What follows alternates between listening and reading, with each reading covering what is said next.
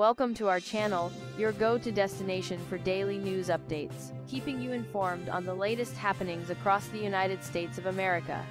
Michelle Troconis, the ex-girlfriend of Jennifer Dulos' husband, was found guilty on Friday of conspiring to murder the missing Connecticut mother of five who disappeared nearly five years ago. In addition to the conspiracy to commit murder charge, Troconis was also found guilty of one count of hindering prosecution, two counts of conspiracy to commit tampering with physical evidence, and two counts of tampering with physical evidence.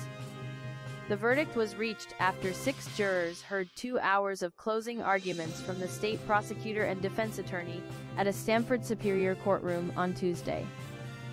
Troconis had been dating Fotis Dulos, Jennifer's estranged husband, who was charged with her murder but died by apparent suicide in January 2020 before going to trial.